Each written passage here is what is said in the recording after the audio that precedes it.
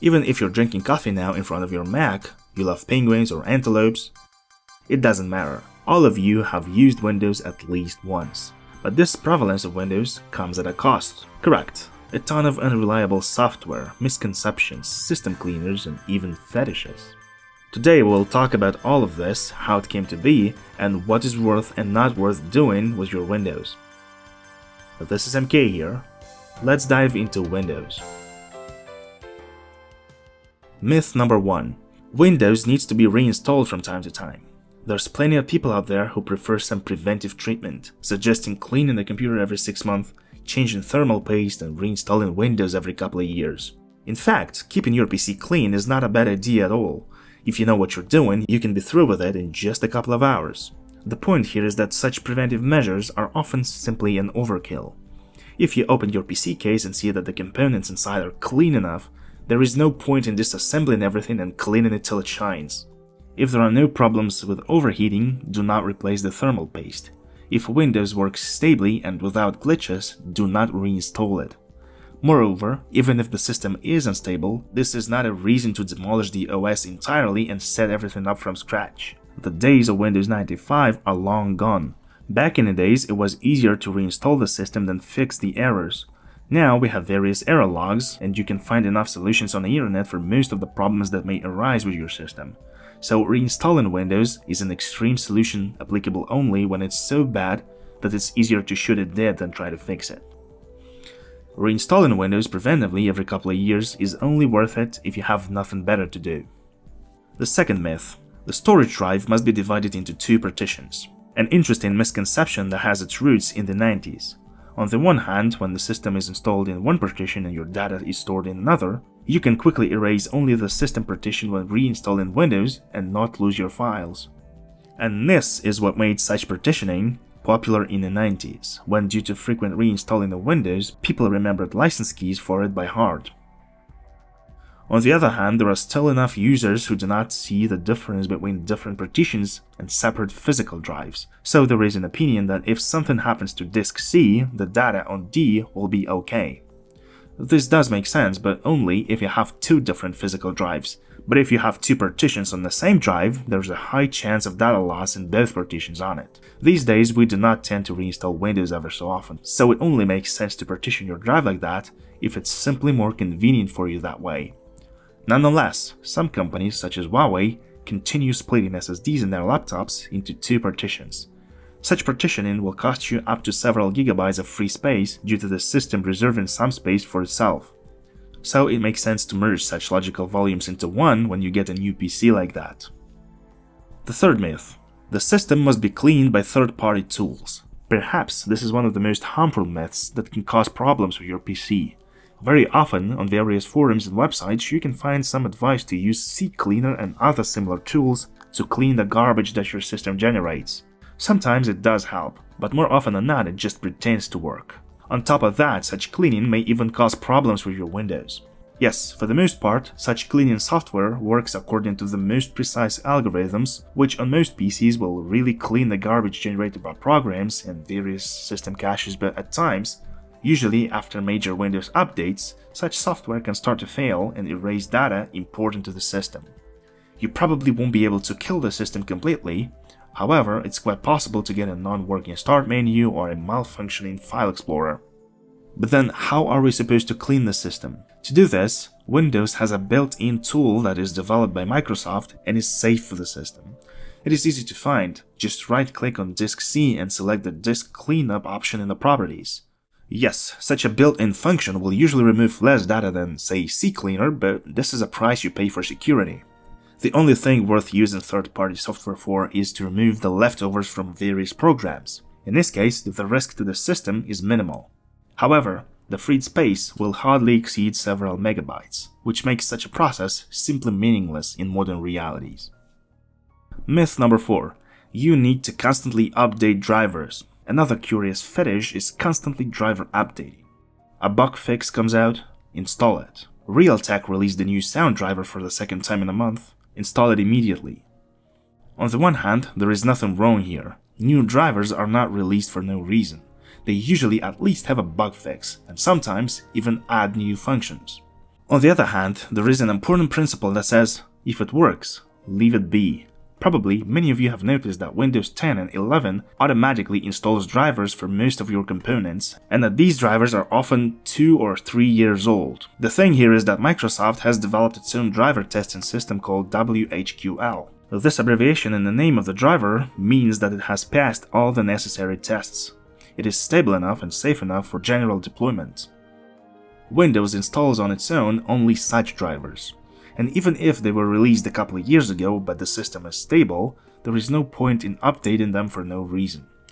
Of course, except for drivers for those devices where new features are constantly being added, for example for graphics cards, where almost every new driver has optimizations for freshly released games. And most importantly, forget about driver packages. They seem to be a convenient way to quickly get the latest drivers, but their massive problem is that they often offer drivers not for your specific hardware, but for the most common hardware, for the target family of devices so to say.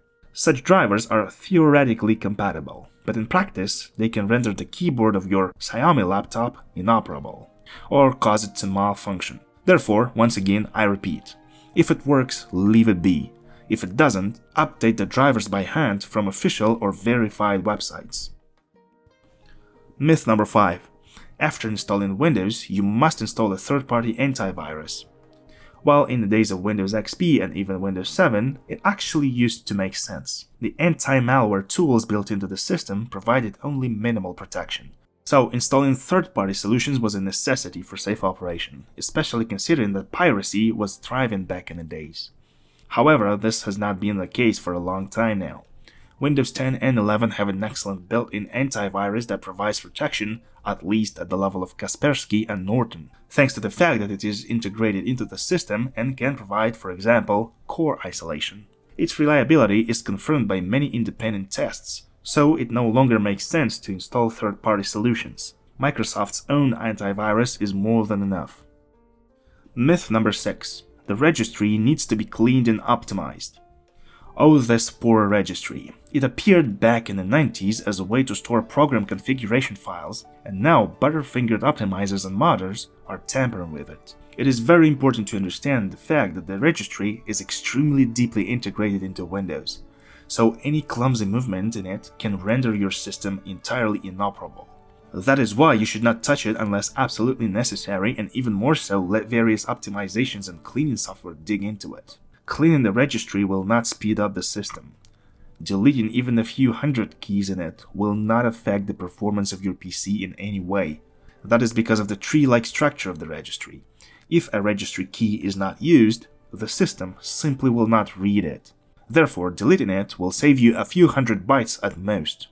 So once again, leave the registry alone, even if you really want to play with it. Perhaps the only reason why you should go there is to remove some malware, which for example replaces the browser's starting page. There are no other mass reasons to touch this sanctuary of your system. Moving on, myth number 7. Updating the system is an evil that needs to be disabled by all means. This is a fairly modern trend, which actually has some grounds. Windows 10 updates rarely come out stable. Microsoft sometimes recalls them and reissues them in order to fix the problems they cause, and at the same time, new errors often appear too. Therefore, the desire to disable updates once and for all in a system that is currently running smoothly seems to make a lot of sense.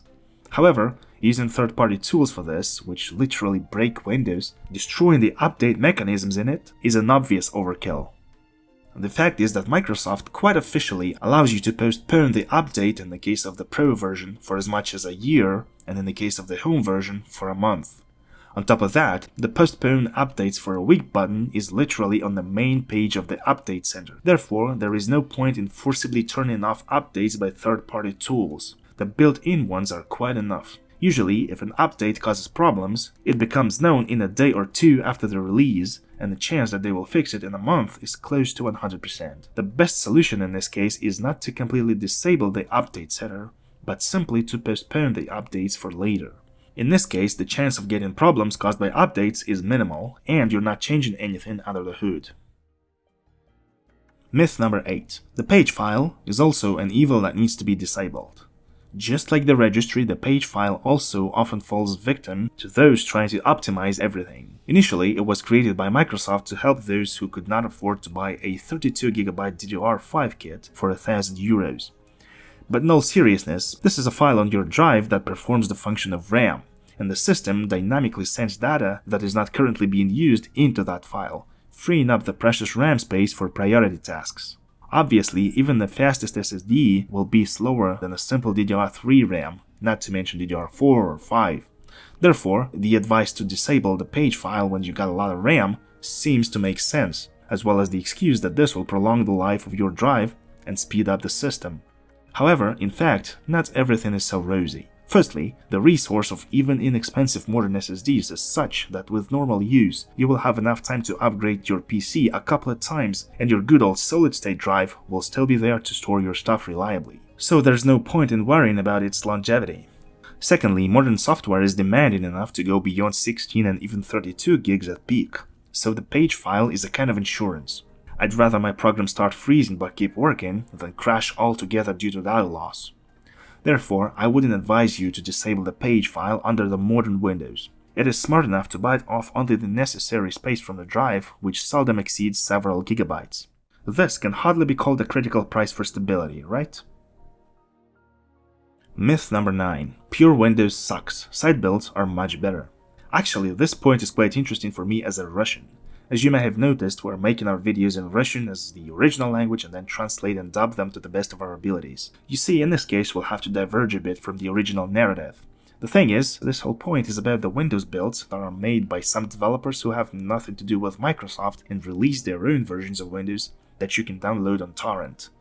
I'm not sure if this is a thing where you're from, at least I couldn't find anything like it in the English speaking section of the internet, but here is what it's all about. If you go to any major Russian-speaking torrent tracker, you will be surprised that you can find even Windows 11 builds. And this is quite strange actually. I get it that back in the days of Windows XP, the internet was very slow, and it was really convenient to get the most updated version of Windows on a DVD disc right away, and with some useful software that comes with it. But why would we need it now? This is something I can't quite wrap my head around.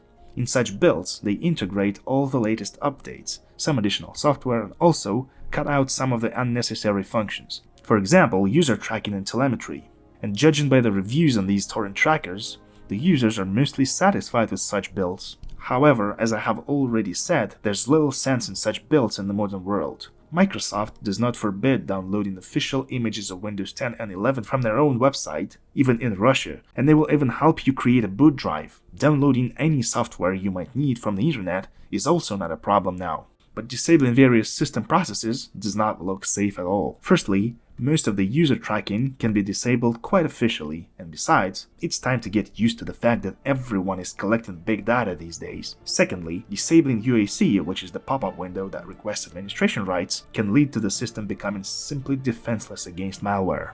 And thirdly, deep digging into the system can result in stability issues, so the best option is to forget about these side builds and install only pure Windows from the Microsoft website.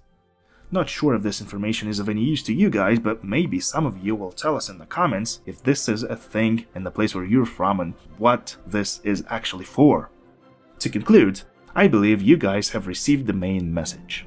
Leave the system alone and it will reward you with a long stable work for Microsoft employees certainly understand their own code much better than the authors of those tweaks, optimizers, and other driver packages. Given the fact that Windows 10 has been almost completely fixed over the last 5 years of updates, it's better not to try and improve what's already good enough. The latest and greatest Windows 11 cannot boast of such stability yet, but in addition to the visuals, it also has many new functions. I hope you all knew that. Most likely some of you would disagree on some points, or maybe you have your own points to add.